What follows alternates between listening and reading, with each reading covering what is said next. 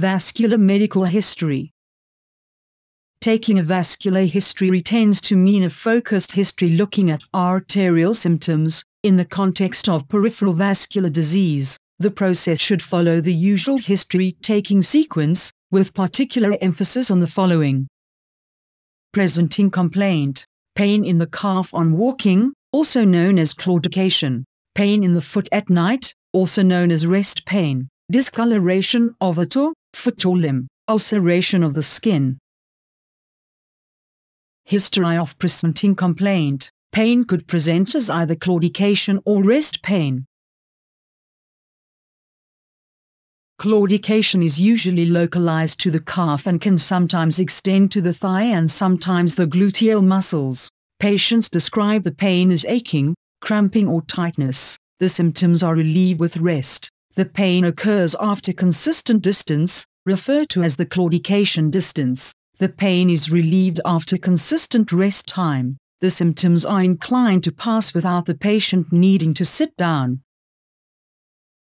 Rest pain, the pain is always distal, that is the toes and feet. The pain is worse at night in bed, when cardiac output reduces due to lower blood pressure. The pain is relieved by hanging the leg out of the bed in a dependent position, because gravity helps circulation. The pain is severe, but might be relieved by opiates. Past medical history with emphasis on cardiovascular risk factors. Smoking. Do they smoke? How much do they smoke? What do they smoke? How long have they smoked for? Diabetes type 1 or type 2? Are they on insulin? For how long? How well controlled is the blood sugar? For example, last HbA1c. Is there a history of a foot ulcer? Does the patient experience reduced or abnormal sensation of feet? Dyslipidemia, do they know if they have high cholesterol? What was the last reading? Are they on a statin?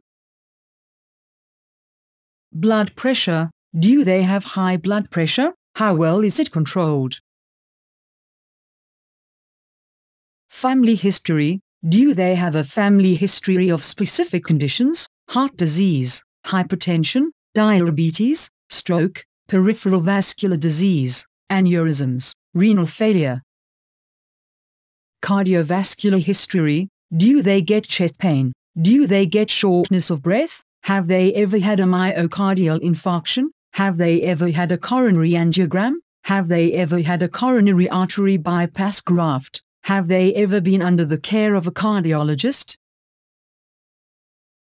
Cerebrovascular history, have they ever had a stroke or transient ischemic attack? Vascular history, have they ever been seen by a vascular surgeon? Have they ever had any investigations for peripheral vascular disease? Have they ever had a peripheral angioplasty? Have they ever had a peripheral bypass? Have they ever had an amputation? General medical history, all the usual questions you would ask, that is chronic obstructive pulmonary disease, renal disease, arthritis, but pay particular attention to the chest, past surgical history, the vascular aspect should already have been covered in the past medical history but make sure that you know the full surgical history. An old appendectomy scar might be mistaken for an iliac artery exposure, for instance. Drew story aspirin or clopidogrel, statins, warfarin, antihypertensives, oral hypoglycemics and insulin. Sociate history, independence for activities of daily living, like hygiene, shopping, cleaning. Mobility, unassisted, one cane, two crutches, walking frame or wheelchair, do they ever leave the home? How many floors are they able to climb? Diet and alcohol intake history. Vascular and endovascular surgery at a glance was used as the primary source for this educational presentation.